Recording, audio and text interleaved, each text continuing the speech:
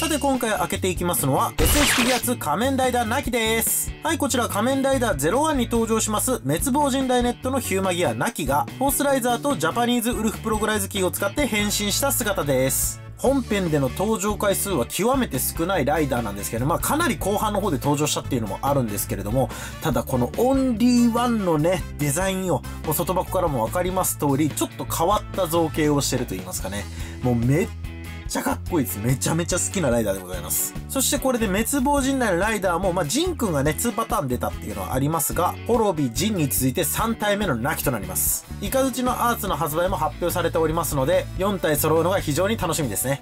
外箱パッケージ超絶かっこいい仮面ライダーナキが映っております。左上には滅亡人大ネットの文字と、右上に魂ネーションズクオリティのシール、SH フィギュアーズ魂ウェブ商店仮面ライダーナキの文字、右下には魂ネーションズのマークと青バンダイのロゴ。外箱サイドはこんな感じ。裏面このようになっております。特徴的な日本狼の爪も付属しておりますので、若干ウルヴァリン感ありますけれどもね、ポージングかっこよく決められるみたいです。非常に楽しみですね。それでは開けて参りましょう。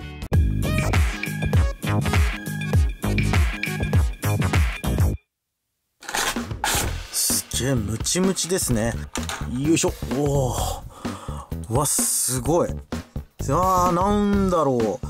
ライダーって感じがやっぱり若干しないんだよな。独特の造形がすごくいいですね。はい、というわけで中身は仮面ライダーなき本体と、交換用のテクイパーツ左右合わせて4つと日本狼の爪左右2つです。はい、それではビニールを取りましたので、仮面ライダーなき本体上からじっくり見ていきましょう。かなり複雑な造形が見事に再現されております。超かっこいいっすね。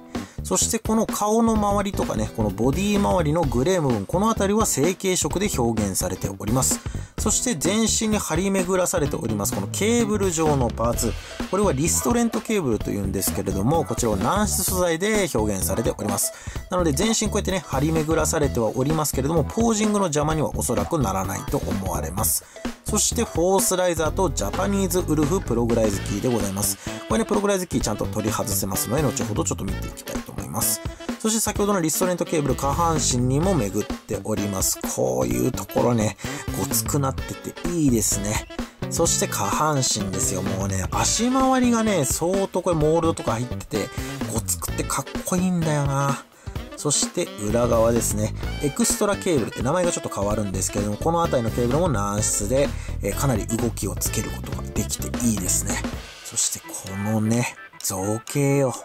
後ろ姿超複雑、超かっこいいっすね。前から見ても後ろから見ても超絶かっこいいね。では顔パーツから見ていきましょう。複眼ブルー、かなり綺麗なクリアパーツを使用しております。いい感じでございますね。そして先ほども言いましたが、顔周りとかボディ周りのこのグレー部分は成形色で表現でございます。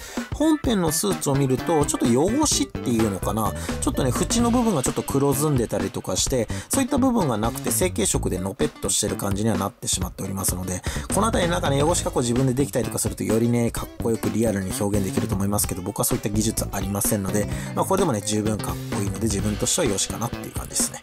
そしてここのケーブル分ですね。先ほども言いましたが、軟質で表現されてます。かなり柔らかいっすよ。うん。なので、ここね、こんな感じで後ろの背中パーツからこの首周りまでね、こんな感じで巡ってますけど、腕を上げるときもこれちゃんとね、逃げてくれるわけですよ。すごいすごい。すごいすごい。うん。全然動かすの、障害にならないっすね。いい感じだな。いやー、かっこいい。で、このケーブルがあるおかげか、肩パーツがね、かなりスッキリしてるんですよ。だからね、むしろ動かしやすい。肩パーツがね、もうなんか、なんだろう、腕動かすとね、ポーンって飛んでっちゃったりとかするアーツとか結構ありますから、それと比べるとかなり稼働しやすいですね。で、この辺り、フォースライザーね、ジャパニーズウルフプログライズキーが刺さっておりますけれども、取り外してみましょう。結構ね、滅びの時とかね、外れやすいというか、すぐポロっていっちゃいましたけど、今回はそうでもないかな。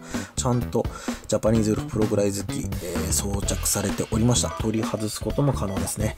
前面パーツの稼働とかは特にありませんけれども、ちゃんとね、ここにフォースライザー刺しても、えー、簡単には落ちないかな。うん、逆さまにしてもね、振ってもグラグラしたりとかしませんので、今回かなりいい感じでございますね。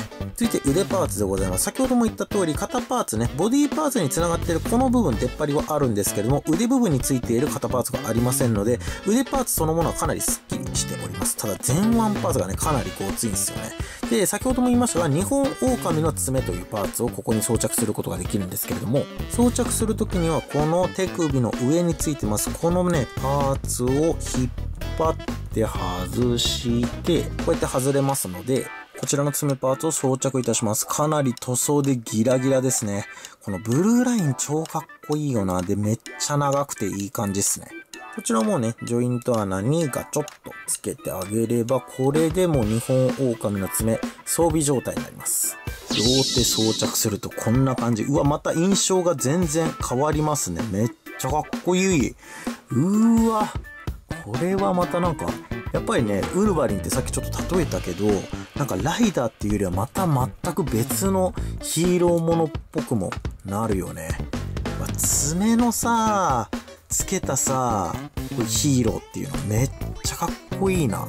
ちょっと腕を広げるだけでもポージングになるしね。やっぱりこうやってね、爪を交差させるとさらにかっこよくなりますね。うわ、どの角度から見ても超かっこいいっすね。さらに大きく爪を広げても、うーわ、大ボリュームですね。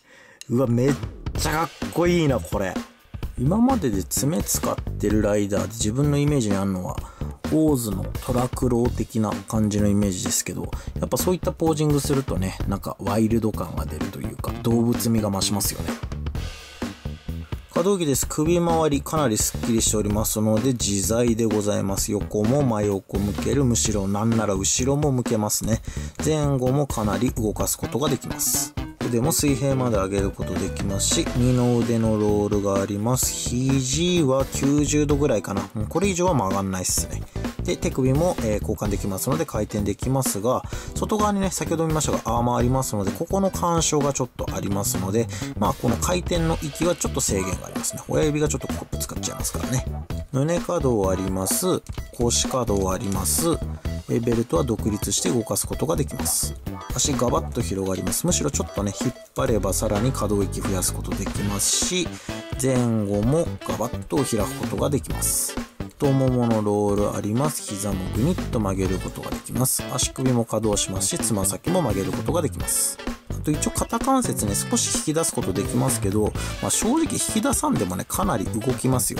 引き出した方がさらにね、腕をちょっと大きく動かすことはできますけどね。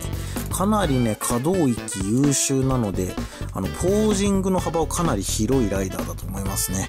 いやー、なきかなり良かったっすよ。うん。アーツの出来としても素晴らしいと思います。はい、というわけで今回は SH フィギュア2仮面ライダーなきご紹介いたしました。本日の動画は以上となります。ご視聴ありがとうございました。